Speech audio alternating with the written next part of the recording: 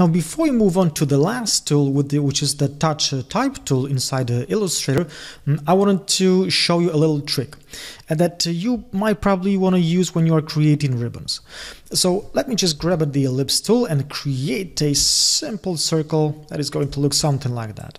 And let's say that we want to create text that would uh, go uh, along uh, well this uh, this curvature, um, this this line um, of the of the circle.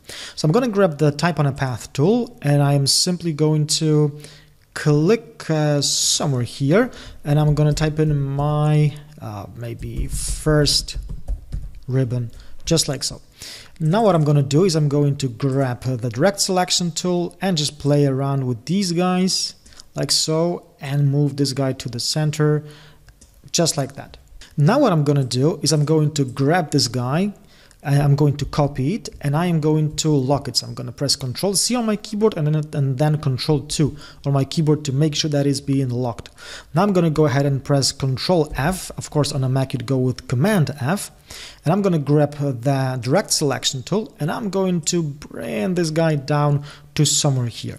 But as you can see, this guy is being flipped in the wrong direction. So what we could do is we could simply grab this guy right here, this middle bar, and move it up just like so and maybe play around with this guy just like that. But as you can see we got a bit of a problem here. I mean we uh, we can see that uh, this first text my first ribbon is being mm, well I think it's uh, being higher um, on on the circle than this uh, bottom um, bottom text. So uh, I'm I, am i am pretty sure that the distance between these guys is not is not equal. I mean the distance from this uh, top text and and the center point and the bottom text and the center point are not equal. And we as designers want coherence, don't we?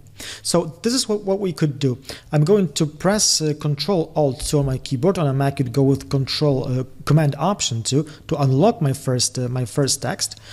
So maybe I'm just gonna um, change this text to my uh, my first project let's call it like that. And I'm gonna make sure that it's being uh, being directly uh, in the middle. So I'm gonna move this guy to the left. So what I want to do right now is I want to go to the path um, type on the path options and I want to change the align to path from baseline to center just like so. And uh, maybe of course it, this what this is what I told you about. Working with this with this tool takes takes time and takes patience really. So I'm gonna grab this guy again. I'm gonna grab uh, the type on the path tool options, move it to center, and now I can be sure that the distance between this guy uh, and the center point and this guy and the center point is equal because our text is being aligned to the middle of our of our path.